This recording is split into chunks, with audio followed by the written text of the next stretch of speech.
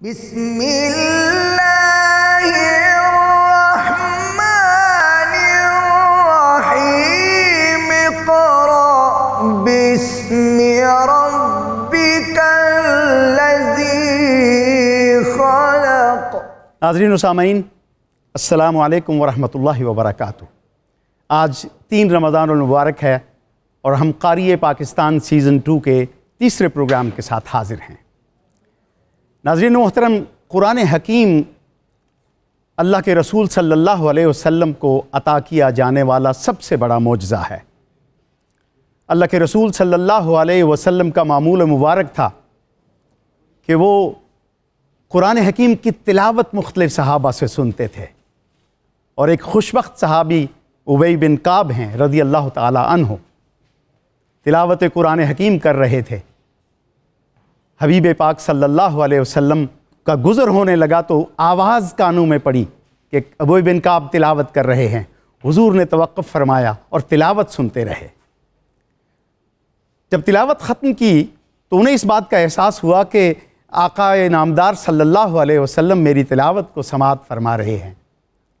हुजूर की खिदमत में हाज़िर हुए, आका सलात वसलाम ने बहुत ज़्यादा तौसीफ़ की।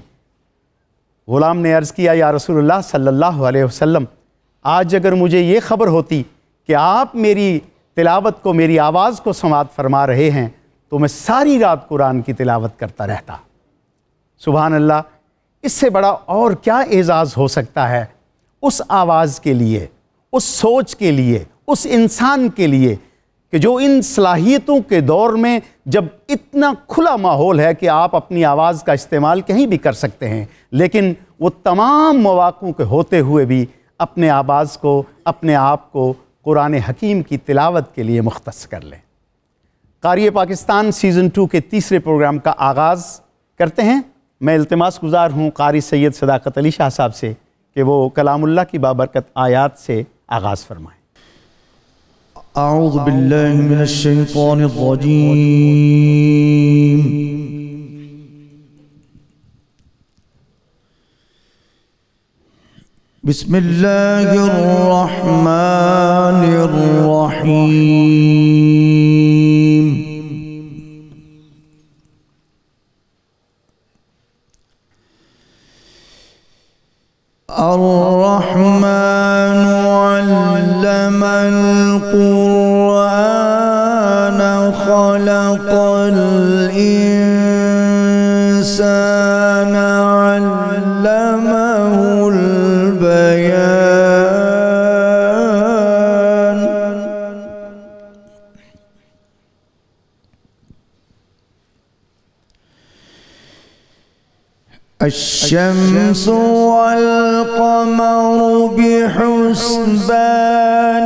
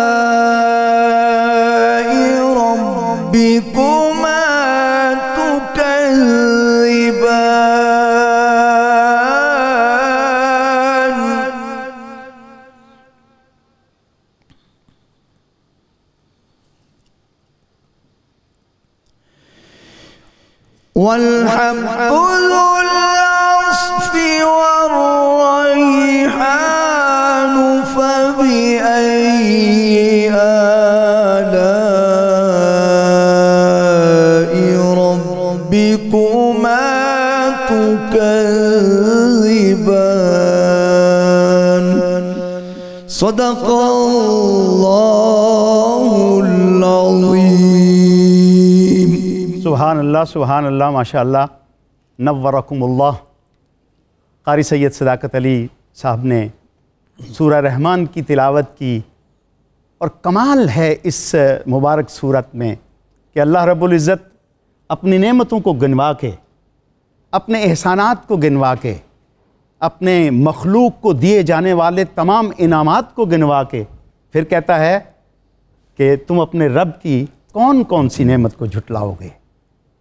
कोई नेमत गिनी जाने के काबिल हो तो झुटलाया जा सके ना? ये दरअसल हमारे लिए एक ऐसा पैगाम है। कि अल्लाह की छोटी से छोटी से लेके बड़ी से बड़ी नेमत पर शुक्र वाजिब है। हम शुक्र करें और इसी शुक्र के तौर पर 92 न्यूज़ एचडी प्लस ने इस प्रोग्राम को शुरू किया है ताकि कुरान की तालीम को आम किया जा सके। कुरान की तालीमात को लोगों तक पहुँचाया जा सके और आज के कुफ्र इल्हाद के दौर में सच्चाई का रास्ता तलाश किया जा सके। नाजरीन मोहतरम, आज के हमारे पार्टिसिपेंट नौजवान कारी मोहम्मद आसिफ महमूद हैं। मैं इल्तमास गुज़ार हूँ कारी मोहम्मद आसिफ महमूद साहब। इनका ताल्लुक़ रहीम यार ख़ान से है कि वो तशरीफ़ लाएँ और अल्लाह रब्बुल इज़्ज़त की मुबारक कलाम की आयात की तिलावत से हमारे दिलों को मुनवर फरमाएँ। कारी मोहम्मद आसिफ महमूद। बिस्मिल्लाह कारी साहब।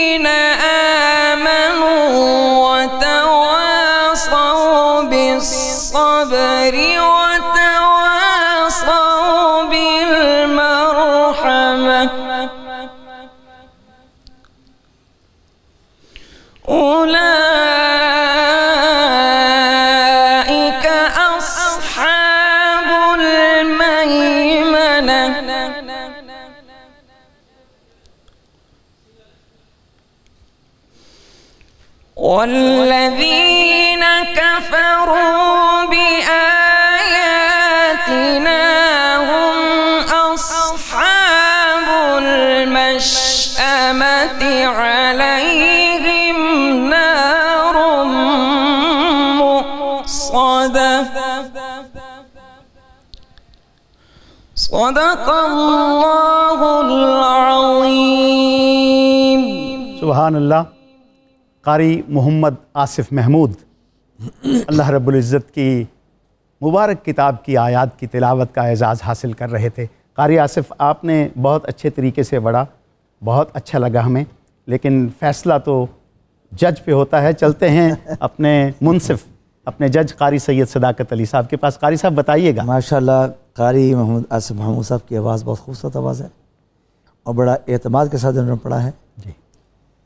अ, लहजे ये बहुत पढ़ना चाहते थे मगर वक्त की कमी की वजह से मेरे ख्याल वो मुकम्मल नहीं कर सके। और तजवीद पर मैं थोड़ा ज़ोर दूँगा कि एक जगह आपने ज़ा को ज़ा पढ़ दिया है और आखिर में आपने सदक़ल्लाज़ीम को अल्लाह का नाम मोटा नहीं पूर्ण नहीं किया इसको तो तजवीद पर थोड़ी तवज्जो दें। बाकी माशाल्लाह आवाज़ खूबसूरत आपकी आवाज़ है।